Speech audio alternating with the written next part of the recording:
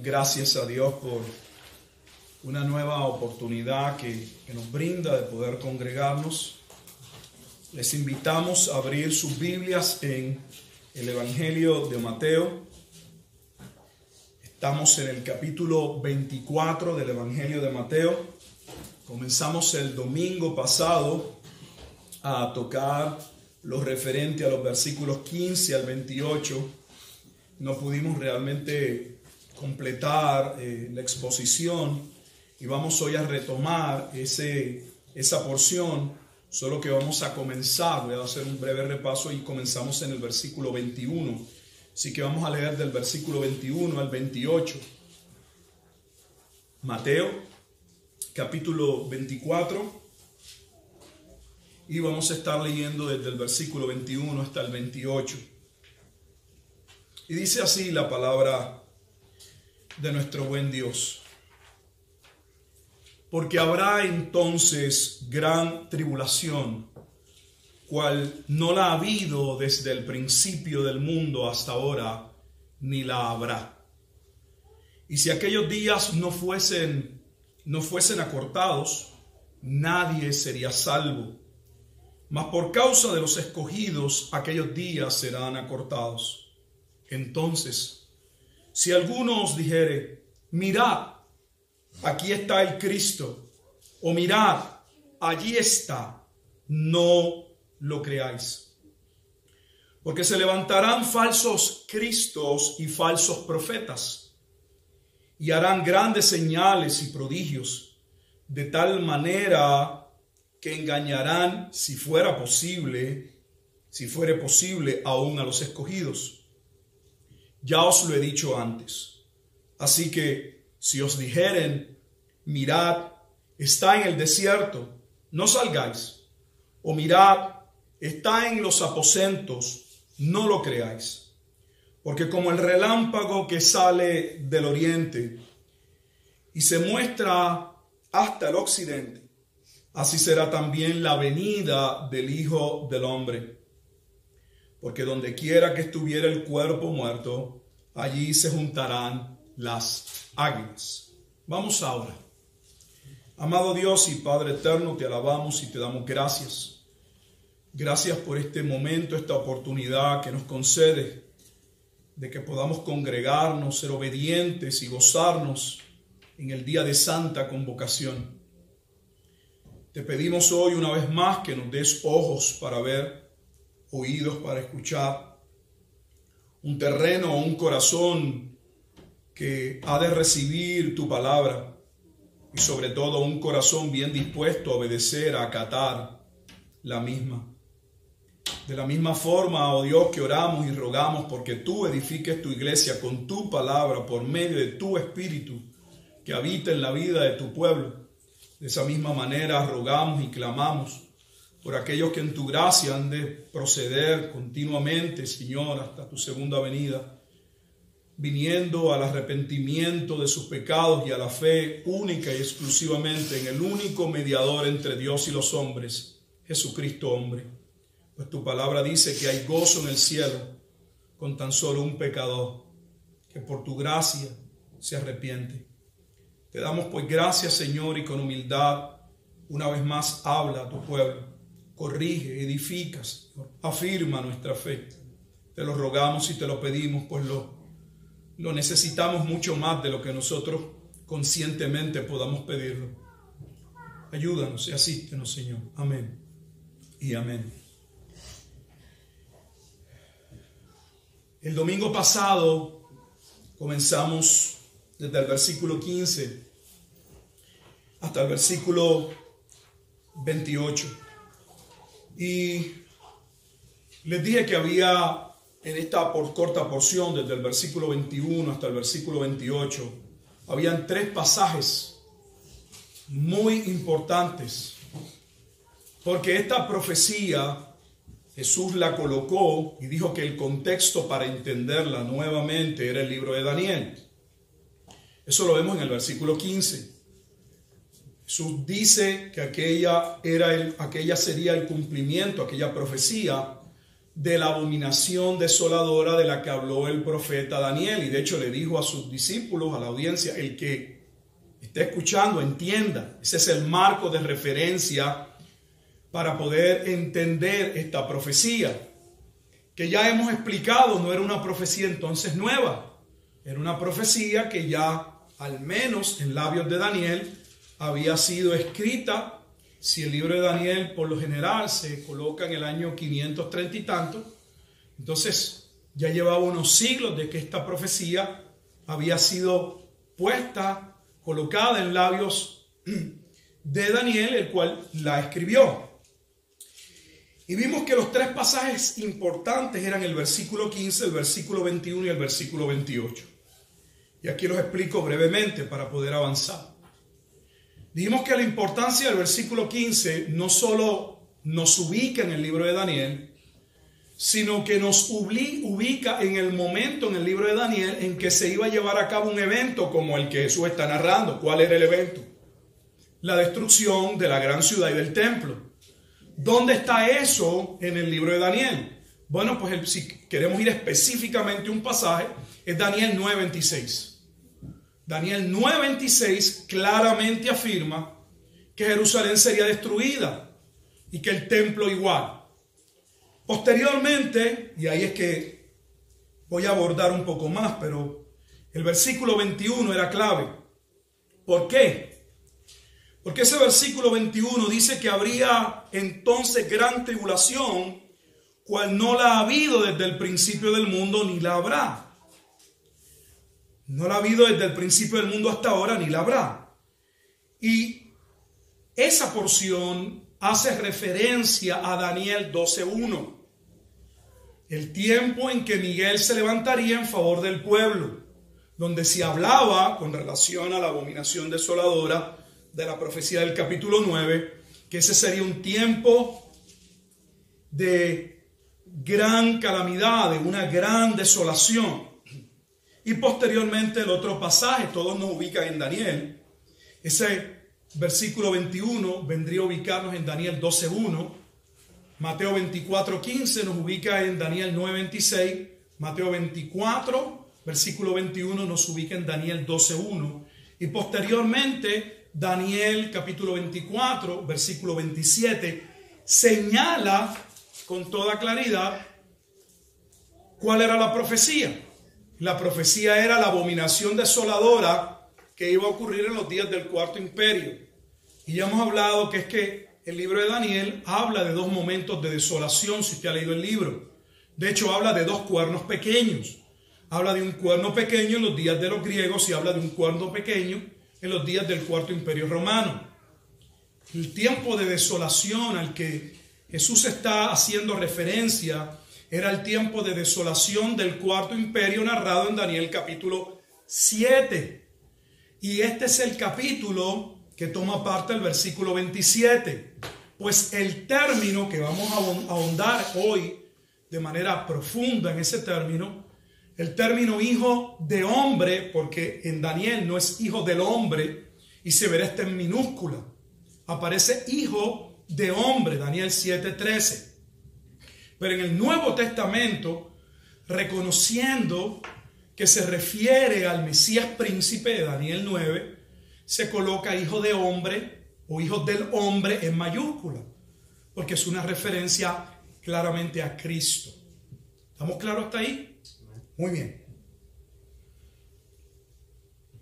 Comenzamos entonces en el versículo 21 con mayor profundidad. Eso sirvió como, como una pequeña base. Dijimos ya, regresando al versículo 21, que de ahí es que vamos a comenzar nuestra exposición, que Mateo 24, 21 hace referencia a Daniel 12.1. ¿Qué dice Daniel 12.1? Solo señalamos Daniel 12.1. Vamos a leerlo. Daniel 12.1, buscamos en nuestra Biblia y va a decir, dice lo siguiente. Daniel 12.1. En aquel tiempo se levantará Miguel, el gran príncipe que está de parte de los hijos de tu pueblo, Y ahora escuche la parte que claramente hace referencia Mateo 24, 21. Será tiempo de angustia, cual nunca fue desde que hubo gente hasta entonces. Pero en aquel tiempo será libertado tu pueblo, todos los que se hayan inscritos en el libro. Nuevamente, ¿qué tenemos en Daniel 12.1? Lo que hemos venido aseverando una y otra vez. Que los pasajes proféticos que atendían lo que iba a acontecer cuando llegase el Mesías, no solo exponían la salvación, la gracia que Dios le concedería a un remanente, sino el juicio que pasaría a la otra parte. En este punto específico estamos viendo que Daniel 12.1 comienza hablando de qué? Del juicio. Pero nos dice que en medio de ese juicio, de esa gran, ese tiempo de gran angustia, Dios tendría bien ser propicio o salvador de un remanente que sus nombres ya estaban ¿qué? escritos. Así que tenemos una vez más a Jesús tanto como salvador de su pueblo, el pueblo que por gracia Él eligió desde antes de la fundación del mundo, como tenemos también a Jesús, o tenemos este momento de gran angustia donde Dios ha de salvar un remanente. Juicio, salvación. Ahora, Daniel 12.1 nos dice que en aquel tiempo se levantaría quién? Miguel. Y esta parte es importante. ¿Por qué es importante? Ya hemos hecho la conexión de Mateo 24, 21 con Daniel 12.1. Pero ahora Daniel nos dice que cuando llegase ese tiempo de angustia, esos que serían salvos porque sus nombres estarían escritos, serían salvos porque Dios iba a intervenir.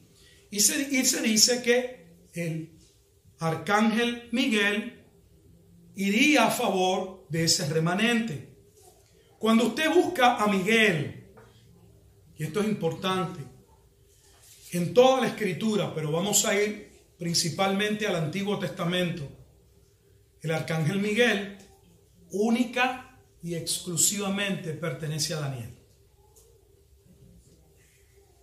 Solo aparece en Daniel. O sea, no puede haber duda de quién es este Miguel y qué viene a ser. ¿Por qué?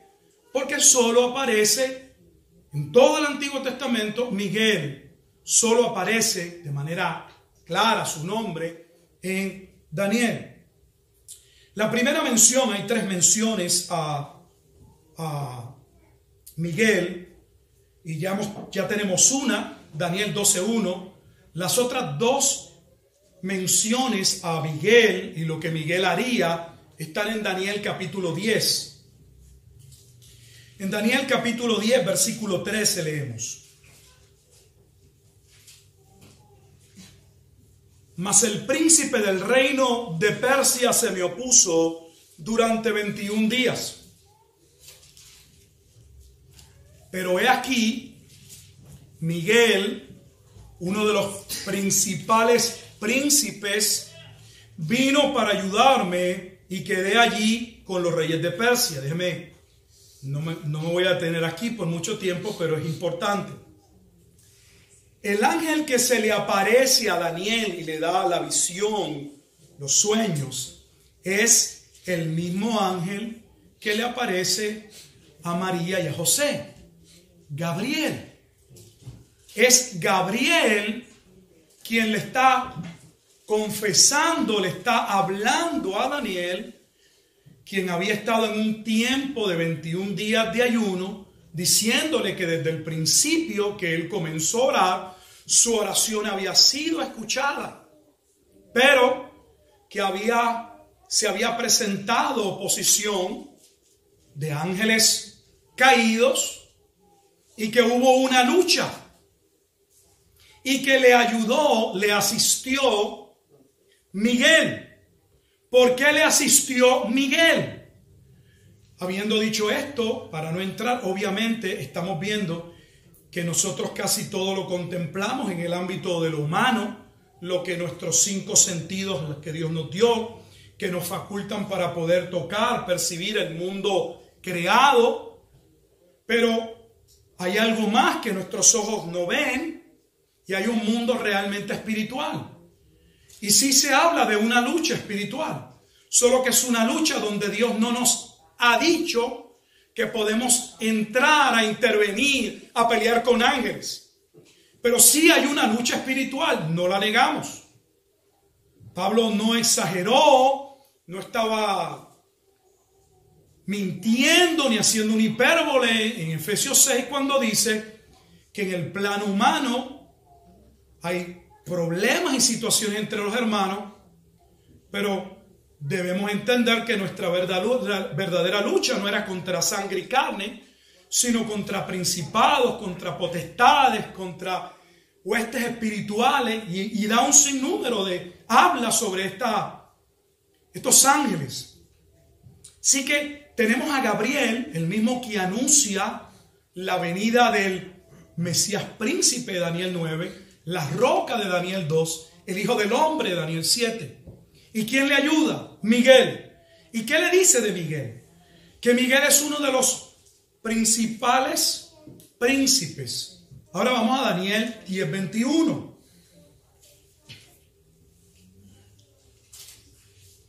Pero yo te declararé lo que está escrito en el libro de la verdad.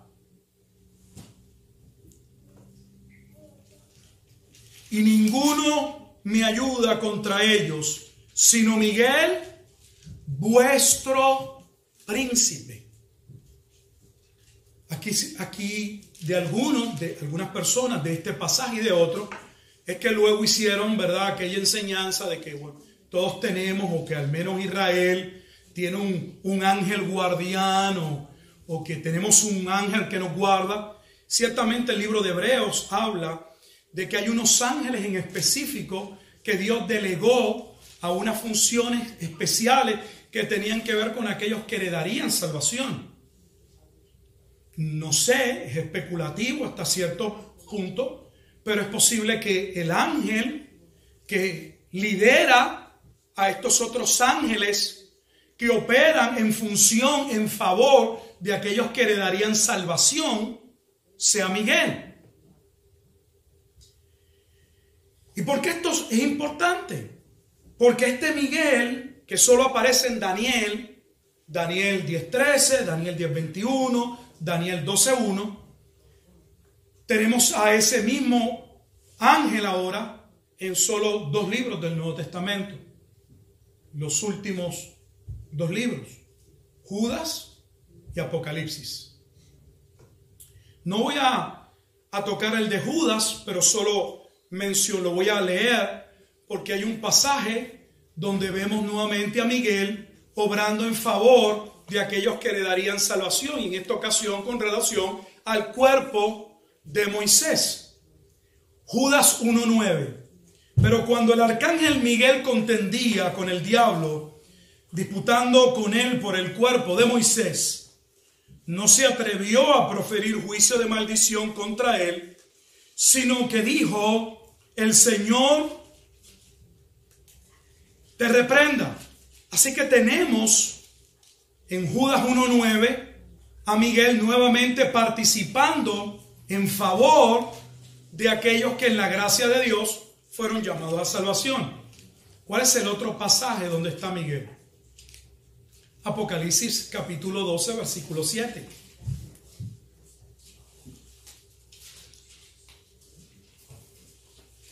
¿Por qué llegamos hasta aquí?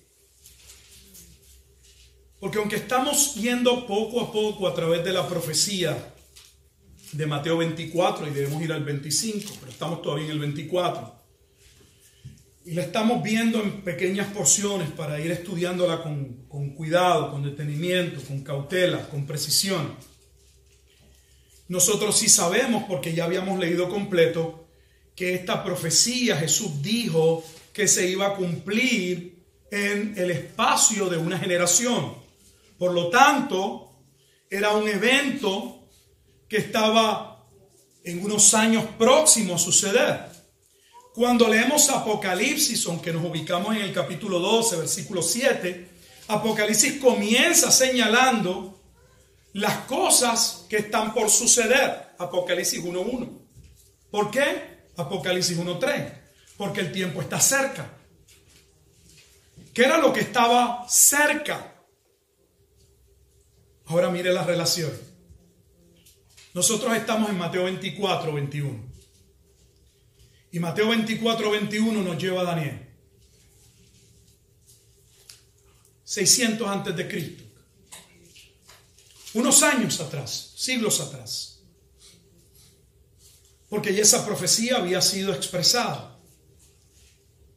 Cuando Daniel escribe esta profecía de Daniel 12, si ustedes recordarán, cuando estudiamos Daniel, a Daniel se le dice, cierra la profecía, porque es para el tiempo del fin. O sea, guárdala porque esto no es para ahora. Pero cuando leemos Apocalipsis, a Juan se le dice que no cierre la profecía, porque el tiempo está cerca. ¿Qué era lo que estaba cerca?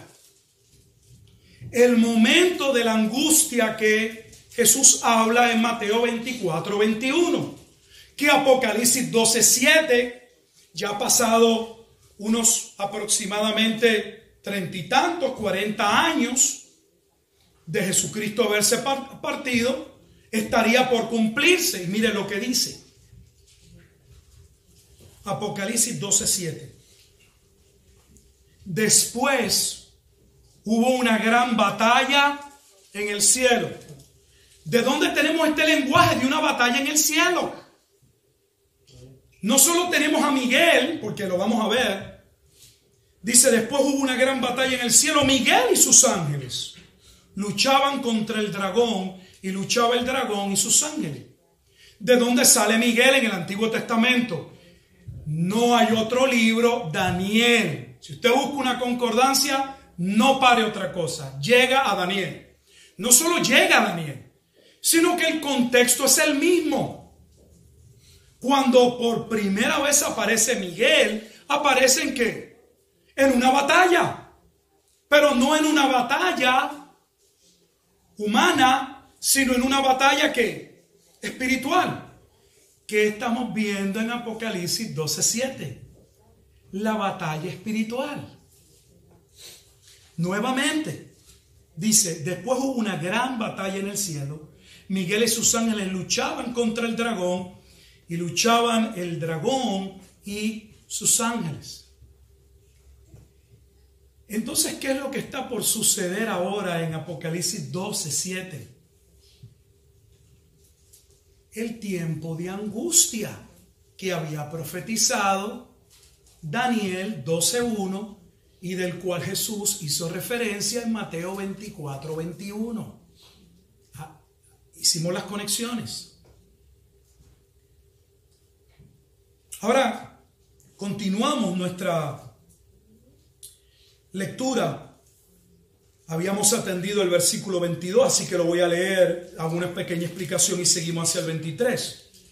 Y si aquellos días no fuesen acortados, nadie sería salvo mas por causa de los escogidos, aquellos días serían acortados. Realmente eso es parte del versículo 1 de Daniel 12.1, donde está la intervención de Miguel y se nos dice que sería un tiempo de angustia cual nunca lo había habido y si Miguel no intercede por el remanente que sería salvo, cuyos nombres estaban escritos en el libro Daniel 12.1, nadie sería salvo. Así que Daniel 12.1 vendría a ser Mateo 24, 21 y 22. Nos movemos al versículo 23, Mateo 24, 23. Entonces, si algunos dijere, mirad, aquí está el Cristo, mirad, allí está.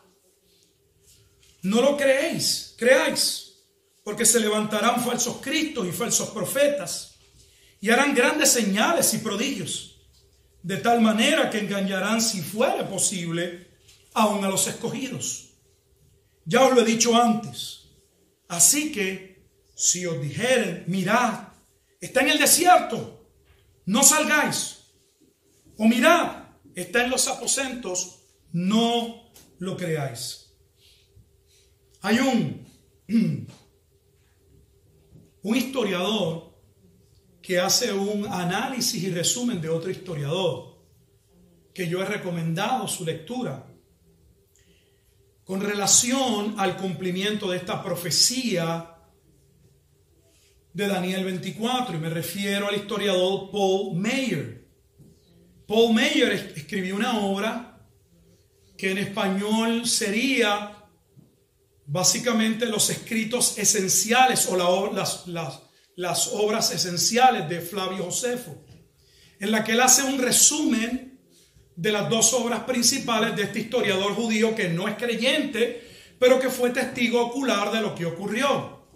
Entiéndase el primer libro que escribe Flavio Josefo, importante para el contexto y el análisis histórico del Nuevo Testamento, antigüedades de los judíos y posteriormente las guerras de los judíos. Él hace un, un análisis y un breve eh, resumen de esas dos obras de Josefo.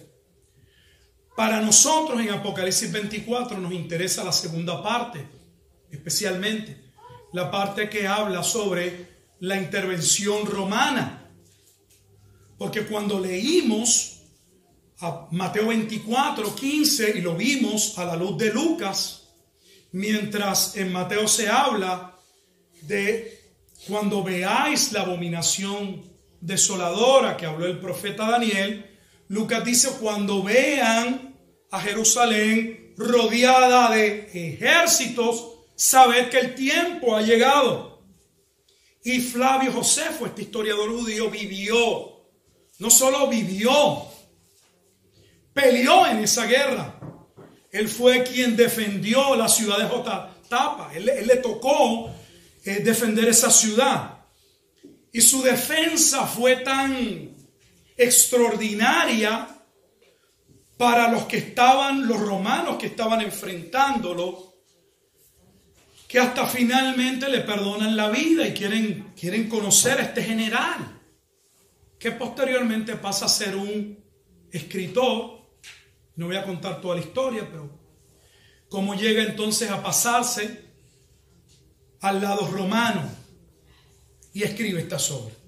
Mira lo que dice el historiador Paul Mayer con relación a esta parte.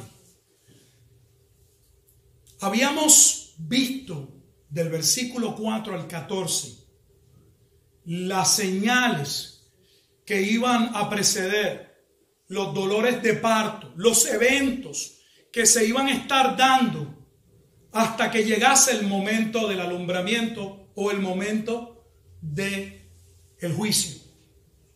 Y una de esas señales era que iban a haber qué? Falsos cristos.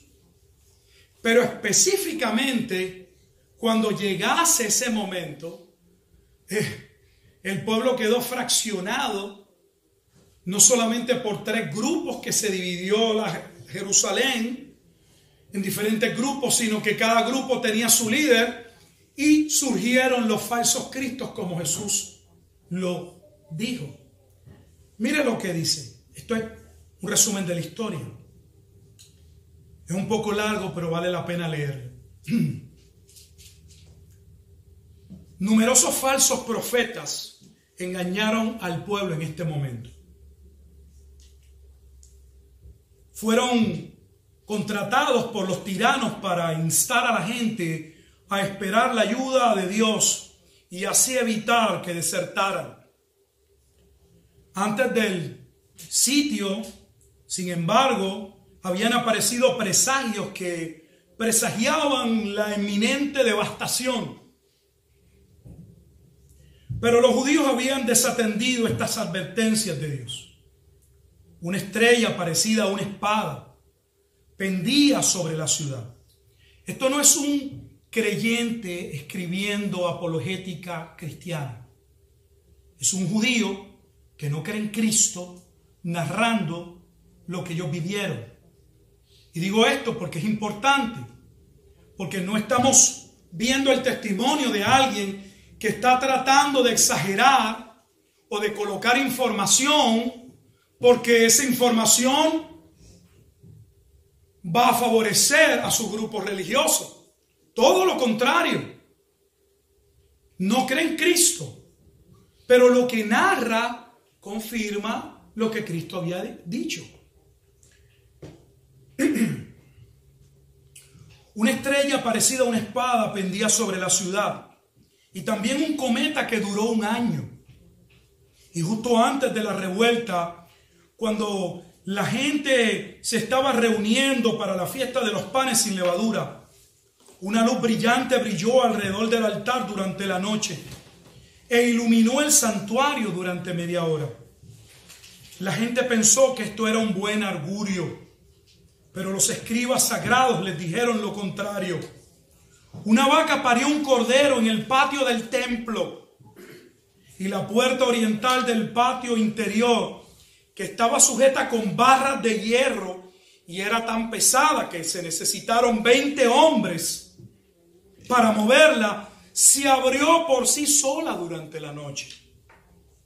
Y en la fiesta de Pentecostés, cuando los sacerdotes entraron en el patio interior del templo, oyeron un gran ruido y después las voces de una multitud que decían, nos vamos de este lugar. Pero otro presagio fue aún más alarmante. Cuatro años antes de la guerra, mientras la ciudad disfrutaba de prosperidad y paz, un rudo campesino llamado Jesús, hijo de Ananías, vino a la fiesta de los tabernáculos. Se puso de pie en el templo y gritó, una voz del oriente, una voz del occidente, una voz de los cuatro vientos, una voz contra Jerusalén y el santuario una voz contra los novios y las novias, una voz contra todo el pueblo. Día y noche clamaba por las calles con este grito. Algunos de los líderes le arrestaron y lo golpearon, pero él solo siguió gritando como antes. Los magistrados lo llevaron ante el gobernador romano, quien hizo que lo azotaran hasta los huesos. Pero él no suplicó misericordia, ni derramó una lágrima. Solo gritó a cada golpe, ¡ay de Jerusalén! Cuando él vino, el gobernador le preguntó quién era, de dónde venía, por qué profería estos gritos. No respondió, sino solo repitió su canto fúnebre, ¡ay de Jerusalén! Solo para aquellos que ustedes no, sepan, hay. La palabra hay no es una mera queja, un dolor. Es la palabra con la que principia un juicio. Según bienaventurados, habla de una bendición que viene cuando comienza con un ay, significa juicio. Durante siete años y cinco meses este grito, este gritó, hasta que haciendo sus rondas en la muralla durante el asedio, gritó con su voz penetrante, hay una vez más a la ciudad, al pueblo y al pueblo, el templo, y luego de repente, ay de mí también. E inmediatamente fue golpeado por una piedra lanzada desde una ballesta romana y murió. O sea que la historia recoge no solamente que hubo falsos cristos, como Jesús lo dijo, sino que hubo señales, presagios, pero el pueblo no los atendió. ¿Por qué? Porque Paul Meyer registra que Josefo escribe que estos falsos cristos eran financiados por los grupos para hacerle creer al pueblo que Dios iba a obrar a favor de ellos y que el pueblo no desistiera de su lucha.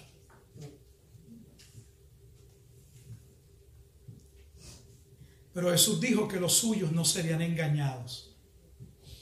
Los suyos no creyeron y partieron hacia una ciudad llamada Pela.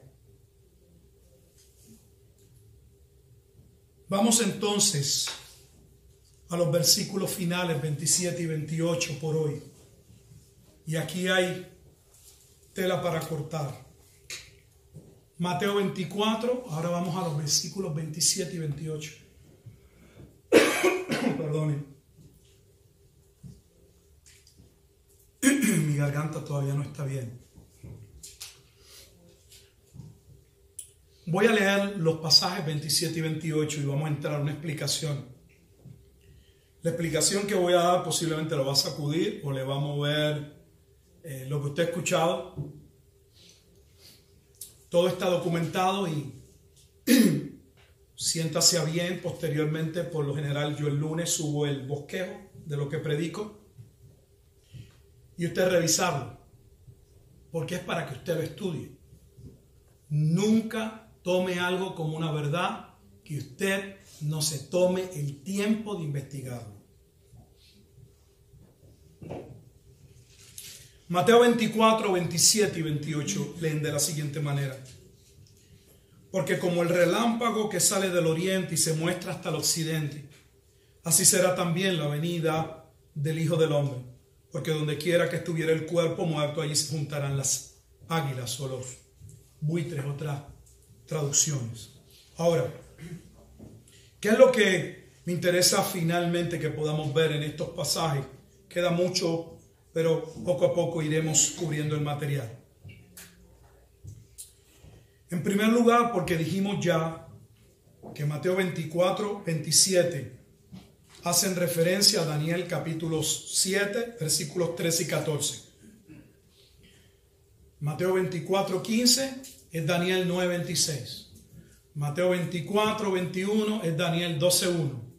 Mateo 24, 27 es Daniel 7, 13. Habiendo dicho eso, entonces, ¿qué tiene esto de importante? Es el Hijo del Hombre. Y yo he explicado bastante el Hijo del Hombre, pero vamos a profundizar. En primer lugar, no tengo que abundar mucho ahí. La expresión Hijo del Hombre proviene de Daniel. Hay algo que debo decir y añadir. Si usted busca en una en un software, en algún programa en internet y pone hijo, hijo de hombre, en el Antiguo Testamento, no podemos decir lo mismo con Miguel, que solo aparece en Daniel. Hay un profeta en específico que Dios le llamó una y otra vez hijo de hombre, Ezequiel. Con esto lo que les estoy diciendo es, y quiero comenzar, es que la expresión hijo de hombre, hijo de hombre, es una expresión que se usa en el Antiguo Testamento. Ya puse como ejemplo Ezequiel. Todo el tiempo Dios le llama hijo de hombre, haz esto, hijo de hombre, aquello. Pero el término hijo de hombre cobra un matiz mesiánico en Daniel. Solo en Daniel el término hijo de hombre está ligado al rey que ha de heredar un reino eterno. Solo lea Daniel 7 si tiene alguna duda. Es aquel que sube al anciano de días y se sienta y le es dado gobernar, se le da un reino que es eterno. Cualquier judío con esa poca información que le acabo de dar sabe que eso hace referencia a su vez a la promesa que Dios le había dado a quién? A David, que de su descendencia un día, conforme a la carne, segunda de Samuel, capítulo 7, versículos 14 en adelante, o puede comenzar desde el 12, un día vendría un rey que tendría un reino eterno. Cuando eso lo recibe David, David es de mil años antes de Cristo. Pero esa profecía que recibe David, esa promesa, ahora se le dice a Daniel en el libro de Daniel, que se ha de cumplir. Y esa promesa la cumple Cristo. Por eso es que usted va a ver que el término hijo de hombre específicamente y particularmente no es exclusivo de Mateo, pero en Mateo alcanza su mayor expresión. De hecho, aunque hay diferentes nombres, como por ejemplo a María se le dijo ponle por nombre Jesús, porque él salvará a su pueblo. Ya hemos dicho que la palabra Cristo, ungido y Mesías no eran un nombre, eran un título que mostraba una función. Y esa función la vendría a ser Jesucristo como el Salvador. Por lo tanto, en Mateo el término hijo de hombre tiene una connotación, no como en ocasiones se ve, como un aspecto de la humanidad de Cristo, sino que el término hijo de hombre es un término profético mesiánico. Eso es importante, muy importante. Cuando estudiamos la palabra hijo de hombre en la escritura, en Mateo, que es el libro que estamos estudiando, y si usted tiene tiempo, yo le invito a hacerlo. Yo, gracias a Dios, ustedes me proveen para yo estar tiempo completo y yo tengo el tiempo para dedicarle a cada una de estas cosas. Yo me dediqué a buscar versículo por versículo y analizar dónde aparecía hijo de hombre. fue maravillosa mi experiencia. En Mateo, el término hijo del hombre aparece 32 veces en 30 versículos.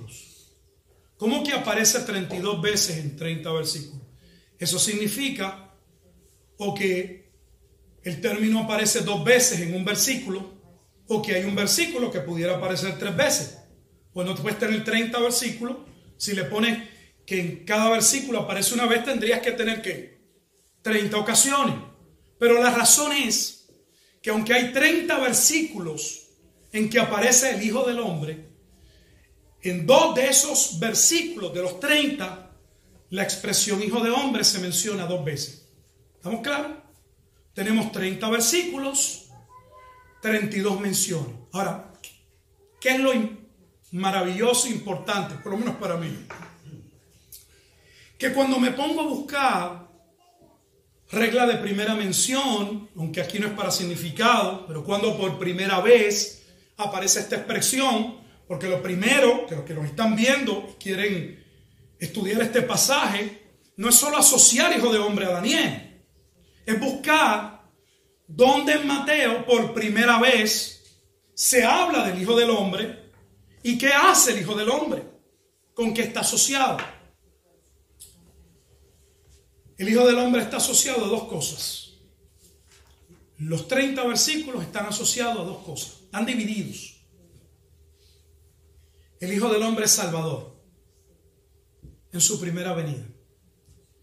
Y el Hijo del Hombre en su segunda venida. O sea que cuando usted evalúa cada uno de los versículos, voy con calma, Jesús era el Hijo del Hombre en su primera venida.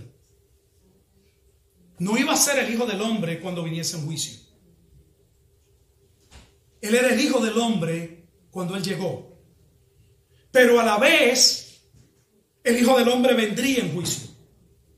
La primera mención, para que lo puedas ver en la escritura, cuando buscamos en Mateo, está en Mateo capítulo 8, y no voy sobre todos los pasajes, solo sobre algunos para que podamos constatar que el término Hijo de Hombre está asociado a la primera venida y a la obra particular que haría el Hijo del Hombre en su primera venida, que básicamente es como Salvador, como Redentor. Si buscas en Mateo, por primera vez aparece en Mateo 8:20. Jesús le dijo, las zorras tienen guaridas y las aves del cielo nidos, mas el Hijo del Hombre no tiene dónde recostar su cabeza. Él no está hablando de que el Hijo del Hombre cuando venga no va a tener dónde dormir. Jesús está diciendo que Él es el Hijo del Hombre. Mateo 9:6 es la segunda mención. Pues para que sepáis que el Hijo del Hombre tiene potestad en la tierra para perdonar pecados, dice entonces al paralítico, levántate, toma tu cama y vete a tu casa. Así que Jesús es el Hijo de, del Hombre en Mateo capítulo 9, versículo 6, y tiene autoridad para perdonar pecados que sabemos que quien único puede perdonar pecados, según la escritura, es Dios. Por lo tanto, está diciendo que el Hijo del Hombre es quién? Dios, es Dios el Hijo. El tercer versículo en el orden lo voy a dejar en Mateo 10, 23, ya ustedes lo conocen, pero lo vamos a ver. Cuando Jesús los manda y los comisiona a predicar el Evangelio. El cuarto es Mateo 11, 19. Vino el Hijo del Hombre que come y bebe. Observe, vino, no va a venir. Vino, presente. Vino. Vino el Hijo del Hombre que come y bebe. Y dice, he aquí un hombre comilón y bebedor de vino, amigo de publicanos y de pecadores. Pero la sabiduría es justificada por sus hijos. Si pudiera usar un versículo para resumir lo que acabo de decir, de que el Hijo del Hombre está unido, asociado a dos cosas básicas. Jesús en su tarea como Salvador del remanente y Jesús como el juez o el día del juicio del Hijo del Hombre. El Hijo del Hombre como el que salva y el Hijo del Hombre, Daniel 12.1. ¿Recuerdan? En el tiempo de angustia,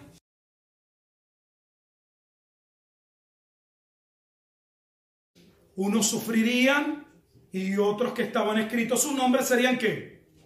Preservados. Jesús salva, pero también es el juez justo. Si pudiéramos resumir con un versículo el punto de Jesús como Salvador, en Mateo sin duda capítulo 18 versículo 11. Mateo 18, 11. Dice de la siguiente manera.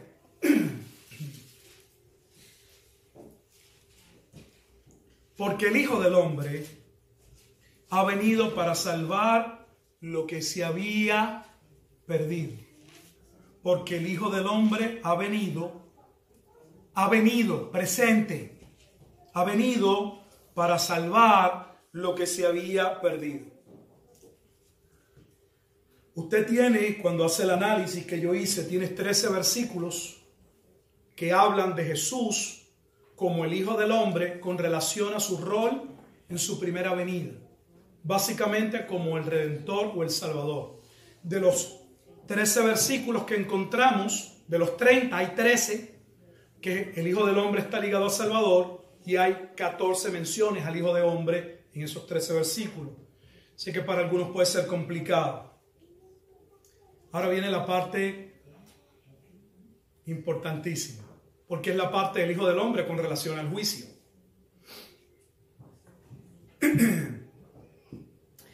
La primera mención al Hijo del Hombre es Mateo 10, 23, con relación al juicio. Por eso me tomé el tiempo de decirles que si usted busca una concordancia, Hijo del Hombre Mateo, que es la carta de estudio, va a encontrar 30 versículos con 32 menciones. Pero cuando analizas versículo a versículo, y yo lo sé, no porque me lo leí en un librito, porque yo hice el ejercicio, no lo saqué de un librito, encuentras que está dividido los 30 pasajes en dos cosas. El rol del Hijo del Hombre en su primera venida, el perdona pecado, el salva lo que hace en su primera venida, y el rol o la tarea que haría el Hijo del Hombre cuando regresase en juicio. Ahora viene la parte interesante. La primera mención del Hijo del Hombre en juicio, por primera vez, el primer versículo que uno lee Hijo de Hombre y claramente especifica que viene, es Mateo 10, 23. O sea que viene en una segunda ocasión. No como los otros que habla que está presente. Yo estoy aquí presente y perdono pecado. El Hijo del Hombre vino a salvar lo que se había perdido en el presente.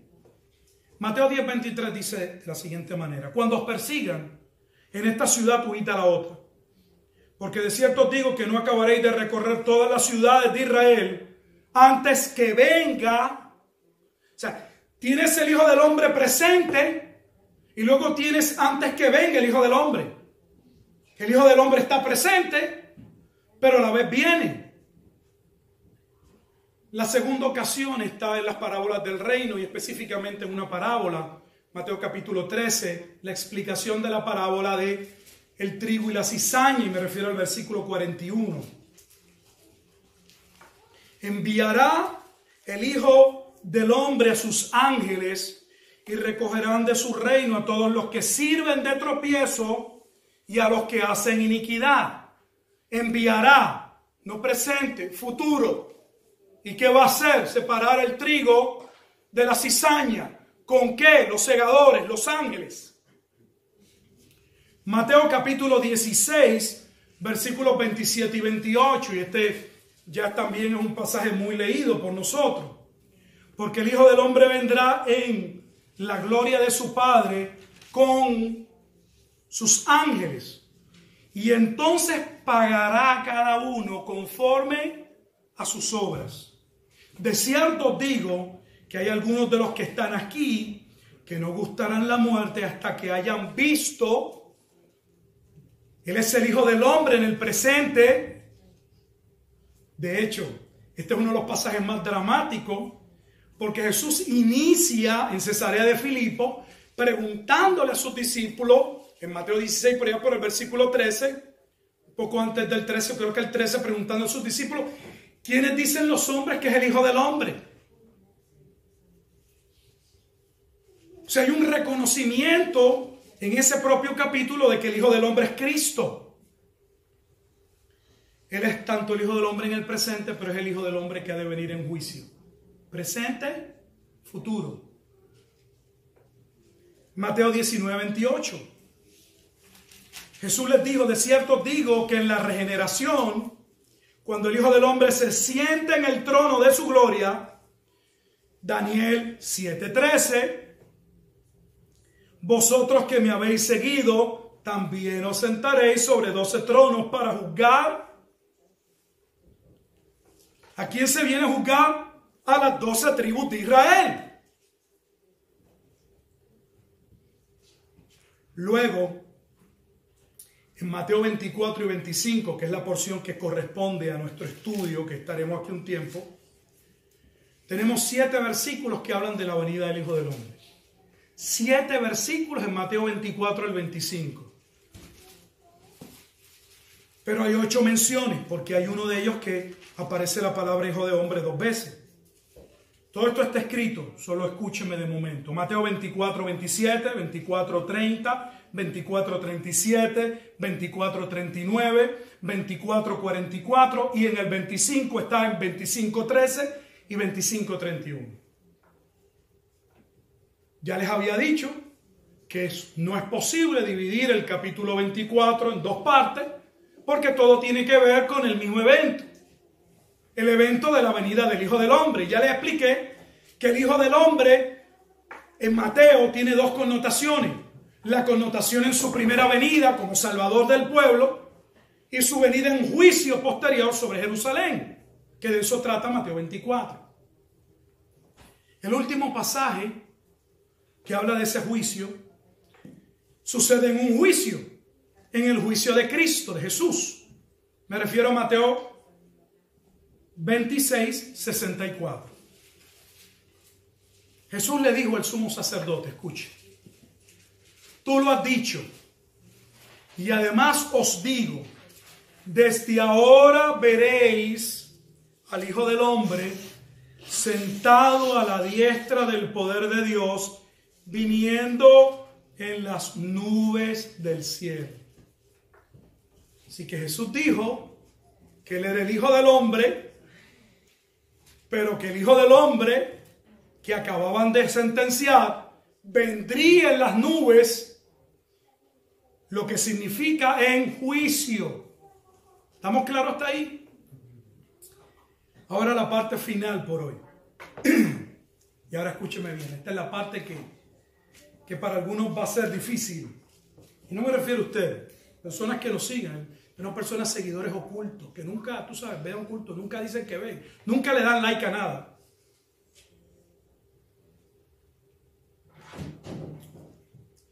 Hace un tiempo atrás les dije que la palabra parucía, ahora escúcheme, por favor, esta es la parte posiblemente más crítica. Va a tener tiempo para examinar el sermón de nuevo, está grabado. Yo le doy mi bosquejo sin ningún problema y usted lo va a poder estudiar. De hecho, se los mando para que lo estudie. El problema que tenemos es que casi todo el mundo, y tengo que poner casi a todo el mundo porque es casi todo el mundo, ha repetido lo que ha escuchado. ¿Qué han repetido? Que cada vez que aparece la palabra parucía, que tiene un significado amplio, manifestación, presencia, venida, significa automáticamente segunda venida. Esto es importante que me, para que me entiendan. La mente de la mayoría de los teólogos y los pastores que repiten lo que los teólogos les dicen, han aprendido que cada vez que aparece la palabra parucía, la parucía es sinónimo categóricamente, categóricamente es que es eso y más nada, de la segunda venida de Cristo. Pues eso no es correcto. De hecho, les dije que en Mateo 24 al 25 hay siete versículos, siete versículos en que se menciona el Hijo del Hombre, pero que aparece ocho veces porque uno de ellos aparece dos veces. Ahora viene lo interesante. Cuando usted busca, todos hablan de la venida del Hijo del Hombre. Pero cuando busca, solo en cuatro de ellos aparece parucía.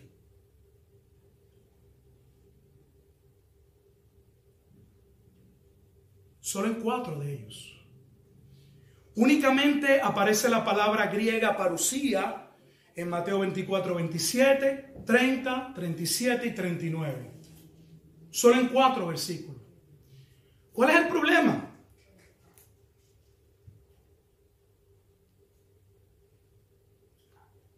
que donde aparece la palabra parucía, si me va siguiendo, y aquí viene la parte, yo les comuniqué, déjenme un paso atrás. Yo mismo les confesé que por hacer exactamente lo que estoy criticando, y lo sé porque yo lo hice, y no tengo problema en confesar, yo dividí el capítulo 24 del 25 exactamente en el versículo 36. Eso es lo que usted va a escuchar. 36 a lo sumo 37. Lo va a ver en montones de libros. Que Mateo 24, versículo 1 hasta el versículo 36 es el juicio contra Jerusalén y que en el 24 del 37 y todo el capítulo 25 es la segunda venida. Eso es lo que usted va a escuchar. Algunos que ustedes que han leído algo saben que lo que estoy diciendo es correcto. ¿Cuál es el problema? Mire lo que acabo de decir que del 24, 37 y todo el 25 es la segunda venida. Pero los pasajes que habla de la parucía están en los versículos que apuntan al juicio de Jerusalén, que no corresponden a la segunda venida. ¿Me debo entender? Repito, se toma como un hecho, si aparece parucía es segunda venida.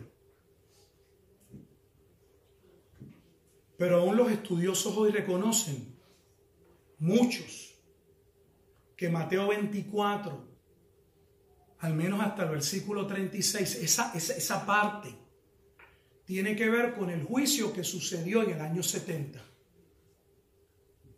y que del versículo 37 en adelante hasta el capítulo 25 tiene que ver con la segunda venida. El problema es que la parte que corresponde a los eventos de el juicio contra Jerusalén es ahí que se usa la parucía. si la parucía es la segunda venida, usted esperaría que esa palabra solo se usara si hay dos palabras que se utilizan todo el tiempo para buscar la venida del Hijo del Hombre. Hay solo dos palabras griegas. Usted esperaría que esa palabra parucía estuviese ¿dónde? Del versículo 37 al 25. ¿Por qué? Porque esa es la parte que corresponde a qué? A la segunda venida. Creo que lo he repetido, alguien tiene que haberlo tomado. Pues me llamó muchísimo la atención que si yo me dejo llevar, porque cada vez que aparece la palabra parucía en la segunda venida, tengo que hacer una cosa, o todo tiene que ver con la segunda venida. Como quiera me tendría que explicar porque hay dos palabras. Dos palabras griegas. No puedo decir que solo se usa parucía porque es falso. ¿Qué hacemos? Aquí está el dilema y yo creo que aquí está el problema. Que hemos entendido no solo que la parucía es la segunda venida, sino que solo existe en un sentido una venida posterior a la ascensión de Cristo. En otras palabras, que por eso nosotros hablamos de la primera venida y de la segunda venida. ¿Por qué hablamos de la primera venida? Hablamos de la primera venida porque es imposible negar que Jesús vino. De hecho, él dice que el Hijo del Hombre vino. Y cuando dice que el hombre dijo que el Hijo del Hombre vino, en Mateo, en presente, usa parucía. No segunda venida.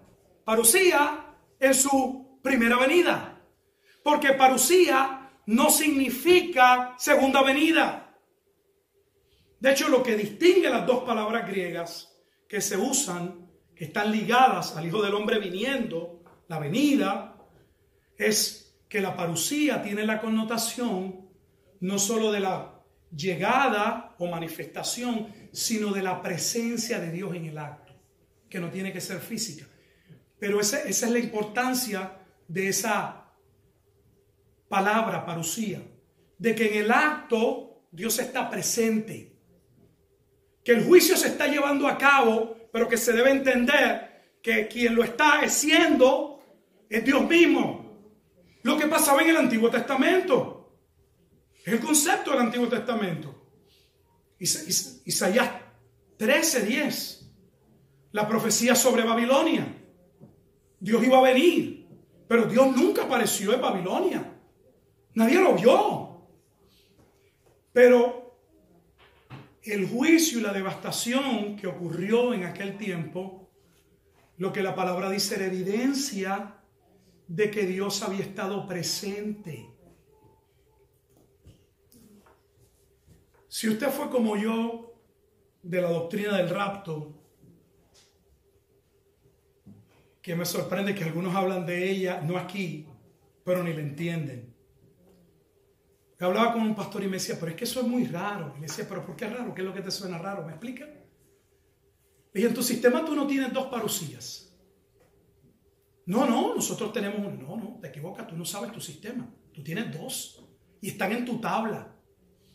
La primera parucía o manifestación no visible es el rapto, varón.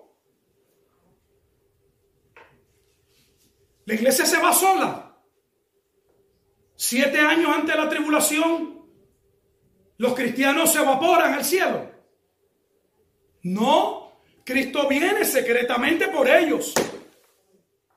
No visible, pero Él viene por ellos. Y luego, después de los siete años, regresa visible en su segunda venida.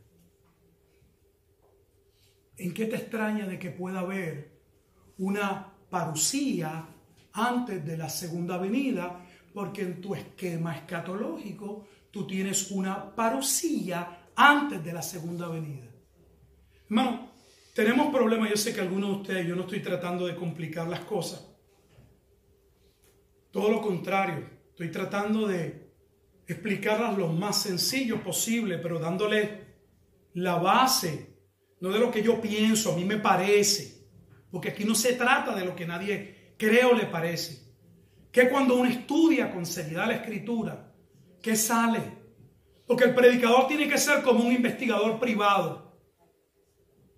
Él puede que cuando llegue una escena de un crimen y le cuenten lo que pasó, él se haga una, un cuadro de lo que pudo haber pasado.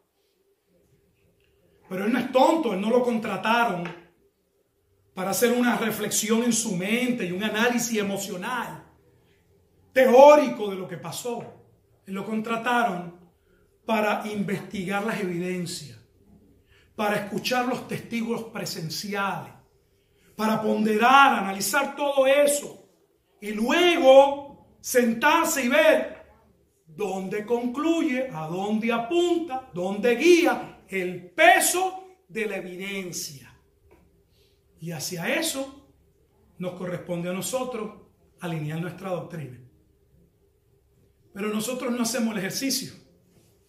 Porque vivimos un tiempo tan avanzado que todo es de microondas, de comida prehecha, todo fácil, ligero, diluido. Y eso es lo que tenemos.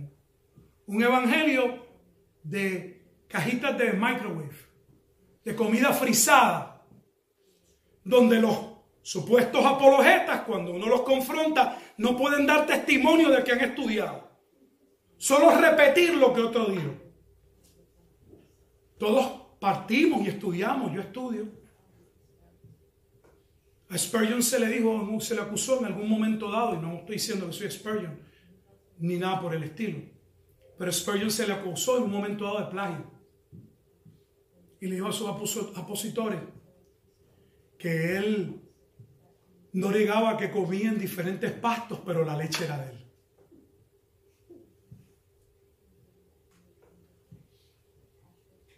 Yo puedo beber diferentes tipos de leche, pero el queso es mío.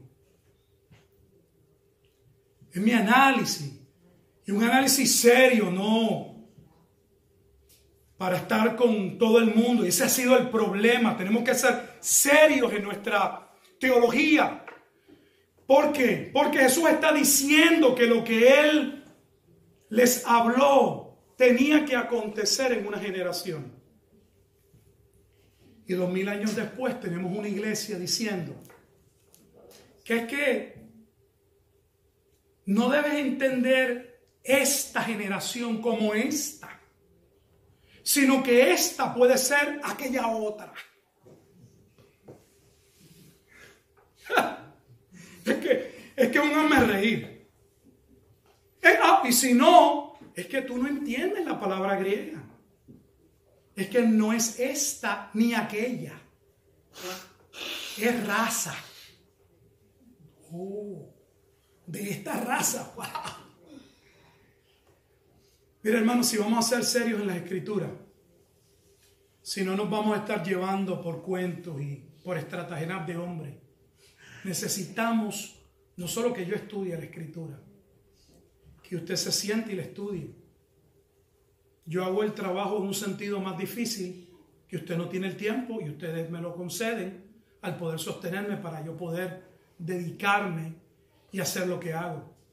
Pero si yo se lo doy digerido y si les presento los pasajes y solo lo que les pido es que los revisen, los estudien, entonces háganlo. Para que usted no diga, yo creo lo que fulano dice. Porque no se trata de decir yo creo lo que fulano dice. Estamos llenos de ese tipo de cristianos. Yo creo esto porque cuando estudio las escrituras me llevan, me conducen, apuntan, señalan a esto. Porque la autoridad no está en los hombres ni en las instituciones. Está en Dios. Así que, para finalizar,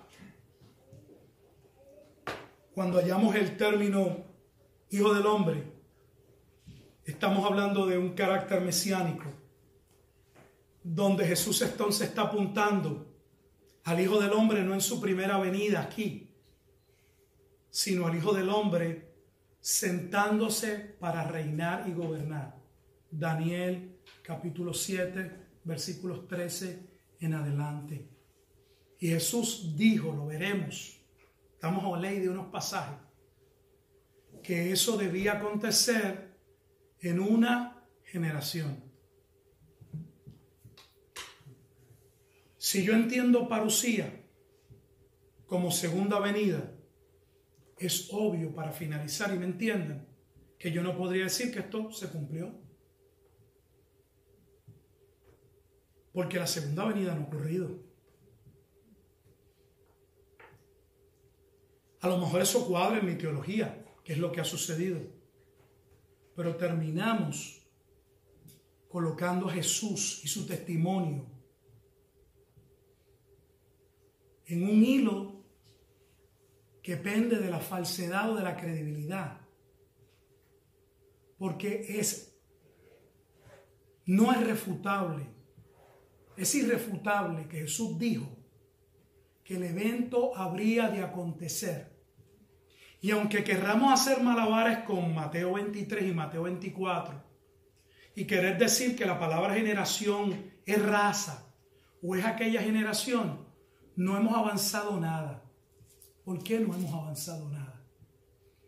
Porque ya les dije que la primera mención a hijo de hombre no es Mateo 24. Y que en Mateo 10, 23 y Mateo 16, 27 y 28 Jesús claramente le dijo a sus discípulos que ellos verían la venida del Hijo del Hombre. Así que si usted quiere jugar con los pasajes del capítulo 23 y del 24, esos dos versículos, todavía no has podido contestar. Si Jesús entonces le mintió o se equivocó cuando dijo que sus discípulos verían su venida. Es triste porque está en juego no solamente la veracidad de la escritura, de Cristo como persona, está en tela de juicio la inspiración de la escritura.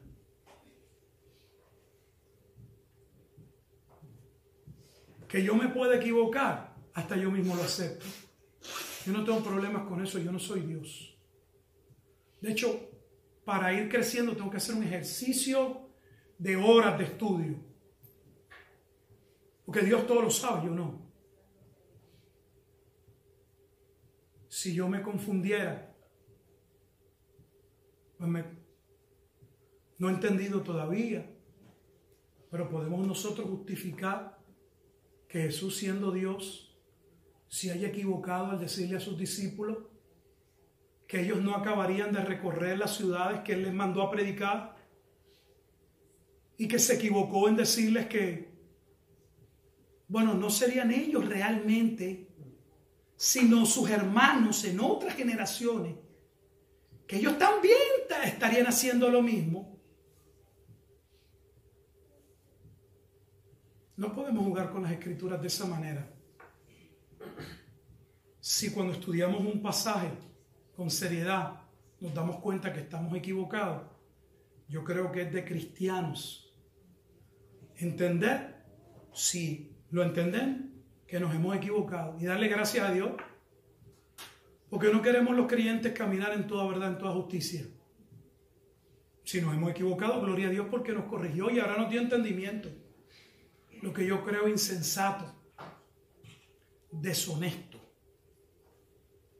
es solo por mantener mi posición y mi credibilidad ante los demás, seguir diciendo algo o que no me consta o yo realmente no he dedicado el tiempo para hacer un análisis profundo. La semana pasada escuchaba un predicador que le decía a su congregación que llevaba 50 años predicándole solo a ellos. Y es cierto, tal vez, que lleva 50 años con ellos. Y él alegó que su escatología nunca había cambiado. En 50 años, le dijo a la congregación. Llevo 50 años y nunca ha cambiado mi escatología. Pero cuando yo busqué que él pensaba sobre el anticristo, ahora es que dice que el anticristo puede venir, porque es que ahora es que está el sistema mundial. hace tiempo atrás dijo que el anticristo iba a ser un musulmán, porque después de las torres, ahora no, ahora no tenemos problemas con los terroristas. Ahora el terrorista es el que tiene el virus, el que no se pone la máscara, la mascarilla. O que nos cambian el guasón, el pingüino y nos tienen en el juego este. Y ni nos preguntamos. Y antes de eso decía que era el papado. Y antes de eso, hermanos, tenemos que ser honestos. Si cuando estudiamos algo nos percatamos que estamos mal, debemos ser honestos y corregirlo primero en nosotros. Porque no debemos propagar mentiras. Y mucho menos para dar la impresión de que nosotros nos mantenemos y no hemos cambiado.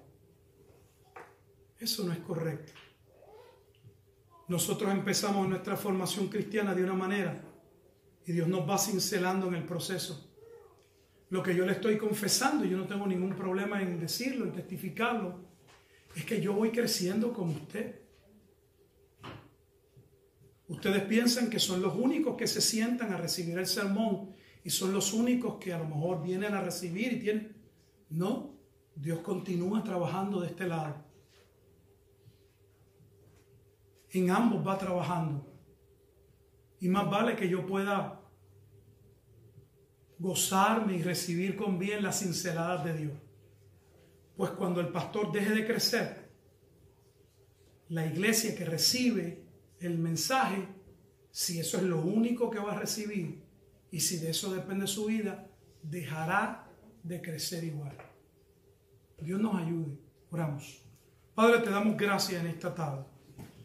Gracias por este tiempo, por esta oportunidad, por este espacio que tú nos brindas de poder ir exponiendo tu palabra con poco a poco. Ayúdanos, Padre Santo, en este proceso de poder ir afirmándonos en la fe para algunos podría ser complicado. Para mí es maravilloso poder comprender y entender que tal como Jesús lo dijo, así aconteció.